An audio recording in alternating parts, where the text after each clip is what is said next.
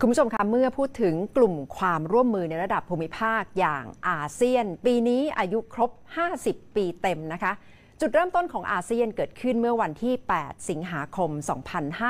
2510 มีจุดเริ่มต้นจากความร่วมมือในเชิงความมั่นคง เพื่อต่อสู้กับภัยคุกคามในโลกคอมมิวนิสต์ในยุคหลังสงครามเย็นนะคะ ซึ่งทำให้ได้เห็นความร่วมมือของอาเซียนเกิดขึ้นอย่างต่อเนื่อง แต่ขณะนี้พลวัตดูเหมือนจะไปอยู่ในเรื่องเศรษฐกิจอย่างมาก ดิฉันได้สอบถามจากอธิบดีกรมอาเซียน คุณสุริยาจินดาวงนะคะว่า แล้วบทเรียนของอาเซียนในห่วงเวลานี้คืออะไร หลังจากที่ได้เห็นการลงประชามติของสหราชอาณาจักรออกจากสหภาพยุโรป ซึ่งก็คือ Brexit แล้วบทเรียนสำหรับอาเซียนคืออะไรคะทำให้ประชาคมอาเซียนของเรานะครับมี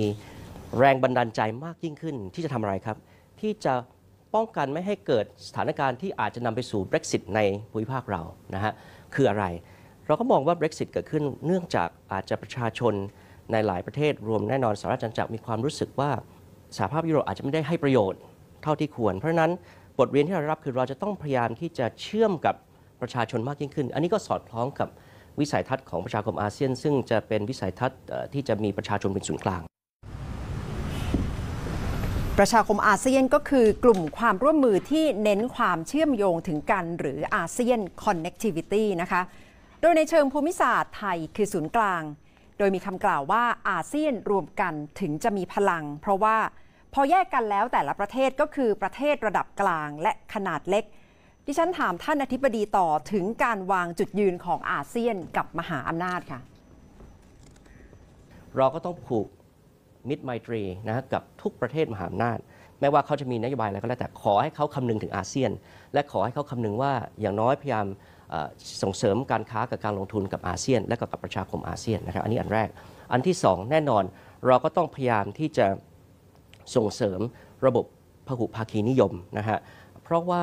ประเทศไทยเป็นประเทศเล็กประเทศอาเซียนส่วนใหญ่เป็นประเทศเล็กนะฮะเราจะต้องพึ่งพาสายการมีระบบ ของโลกนะ international order ซึ่งตั้งบนพื้นฐานของกฎเกณฑ์ ถ้าเราไม่มีกฎระเบียบของโลกในลักษณะนี้ ซึ่งประเทศปานกลางประเทศเล็กๆนะสามารถที่มีส่วนร่วมได้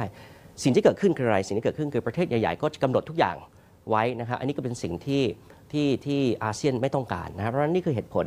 ที่อาเซียนพยายามมีนโยบายตลอดนะไม่ว่าประเทศมหาอำนาจจะมีนโยบายใหม่อย่างไรนะฮะหรือจะไม่มีนโยบายใหม่อย่างไร เราก็พยายามที่จะสร้าง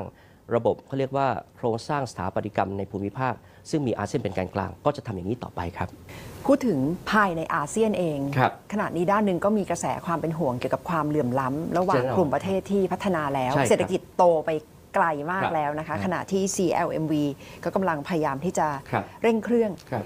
โอกาสของไทยอยู่ตรงไหนคะครับในระหว่างสองกลุ่มนี้ค่ะในกลุ่มประเทศเช่นเมียนมาลาวเอ่อเวียดนามกัมพูชานะฮะถือที่เราเรียกว่ากลุ่ม XMEX นะฮะ ในแง่ของนโยบายในภาพรวมทำอย่างไรถึงจะให้เกิดพลวัตหรือความเชื่อมโยงทางเศรษฐกิจมากยิ่งขึ้นนะฮะเพราะนี่คือเอ่อพูดตรงๆก็เป็นกลุ่มประเทศที่ใกล้ชิดกับเรานะทางด้านเศรษฐกิจทางด้านหลายหลายมิตินะครับก็เป็นสิ่งที่เราจะต้องใช้ประโยชน์ แต่การที่จะส่งเสริมความเป็นปึกแผ่นของ ACMECS โดยมี concept ของ CLMVT เข้ามาเสริมทางด้านของเอกชนนะฮะทางด้านเศรษฐกิจนะฮะการมี โครงการสำคัญสำคัญความเชื่อมโยงเช่น Eastern Economic Corridor EEC นะฮะทั้งหมดทั้งนี้นะครับไม่ใช่เป็นสิ่งที่จะทำให้ประเทศไทยหันออกจากอาเซียนแม้แต่น้อย หากแต่เป็นสิ่งที่จะเป็นถือว่าเป็น building block สำคัญที่จะทำให้ประชาคมอาเซียน รวมทั้งประชาคมเศรษฐกิจอาเซียน เข้มแข็งยิ่งขึ้น อาเซียนก็คือกลุ่มความร่วมมือที่มี 10 ประเทศ มีประชากรรวมกันไม่ต่ำกว่า 620 ล้านคน และสัดส่วนอย่างมากเป็นประชากรรุ่นหนุ่มสาวนะคะ ปฏิเสธไม่ได้ว่า เวลาทั่วโลกหันมามองในอาเซียน